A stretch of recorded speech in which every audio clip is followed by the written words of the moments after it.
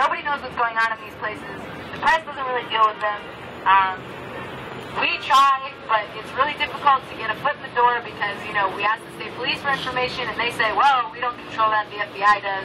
We ask the FBI, they say, well, we don't control that, ask the state police.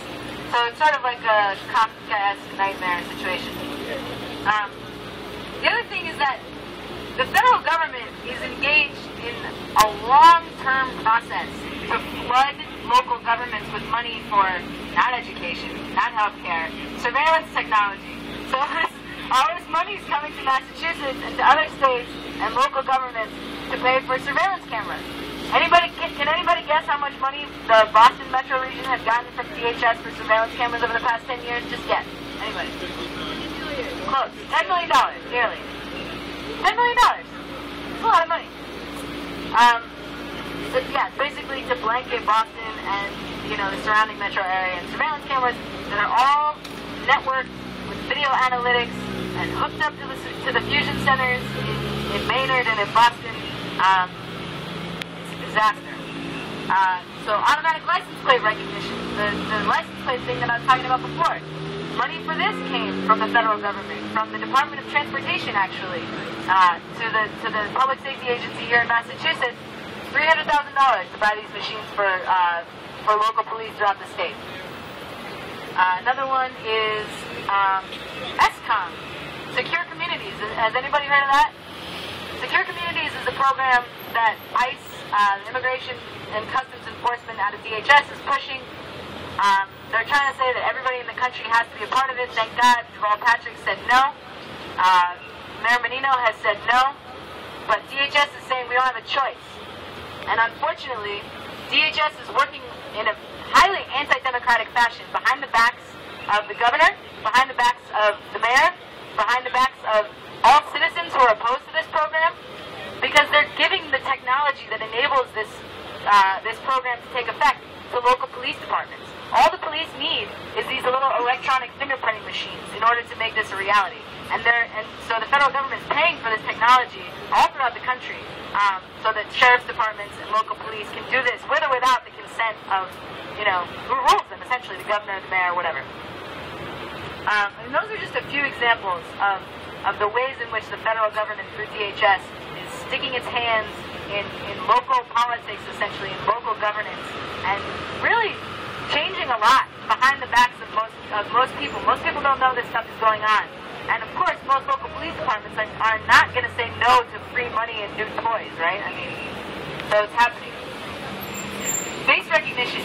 The, the Massachusetts Sheriff's Association a couple years ago got a nearly $300,000 grant to buy face recognition and iris scanning mobile technology, mobile, like you can attach to your iPhone, um, for, for like I think two police departments in every county and every sheriff's department. So now in Massachusetts, every sheriff's department has face recognition and iris scanning technology, thanks to the federal government. That was through uh, the Department of Justice, actually.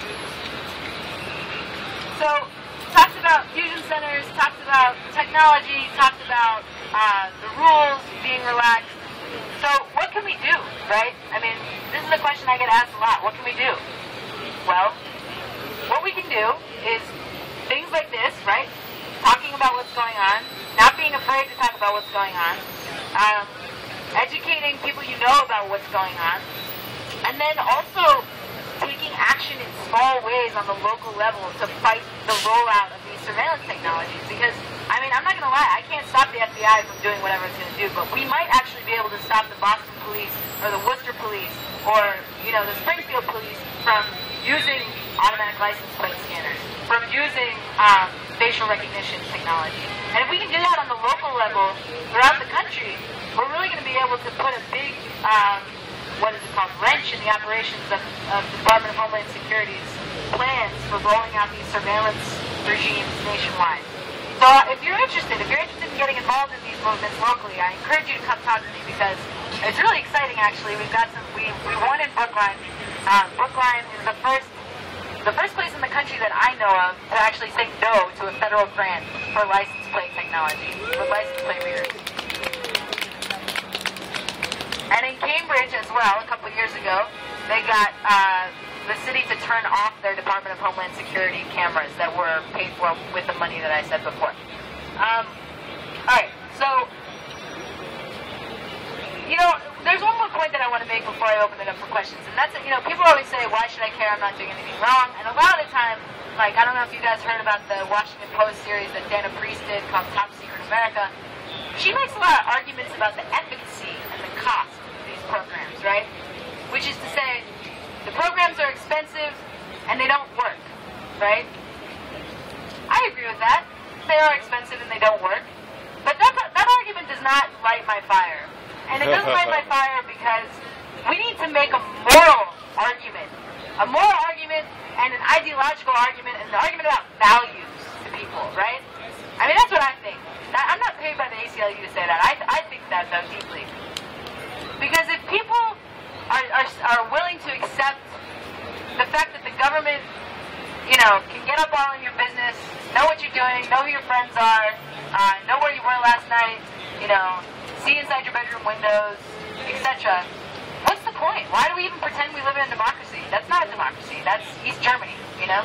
Um, so anyway, I just I just wanted to say that because I get frustrated when people make arguments about cost and efficacy because we really need to be talking about democratic values, and that's lost. Um, okay, so lastly, there's information up here. I have bus cards. That's bust if you get busted by the police. Um, you put them in your wallet. And I also have a flyer that has information about a website that I made that has tons of information about surveillance technology, all of this stuff that I've talked about, and a whole lot more. So if you're interested in learning more about this, you should really take a look. Um, and I think, oh wait, I want to do one thing actually before we end. I want to do a People's Night thing so everyone hears it. Okay. So, basically the only way that you can prevent yourself from being jacked up by the FBI like Tarek Mehanna was does anybody know what happened to Tarek Mehanna? Mehanna spoke to the FBI. That was his greatest mistake. Never speak to the FBI without your lawyer, ever. This is not this is not romantic advice. This is not radical advice. This is practical advice. Never speak to the FBI without your lawyer present. Ever. Don't say anything to them except I'm not speaking to you. If they say, oh, it's not a big deal, I just want to come in and ask you a few questions, say no. If they say, how are you? Don't answer.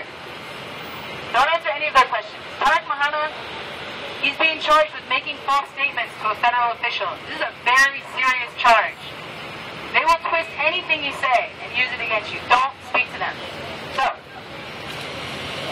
on that note, People's Mic, if the FBI comes to speak with you, if the FBI comes to speak with you, tell them this. Tell them this. I have no comment. I have no comment. If you want to speak with me, if you want to speak with me, arrange. Arrange a meeting with my lawyer. With my lawyer. Goodbye. Goodbye. Again. Again. Never. Never.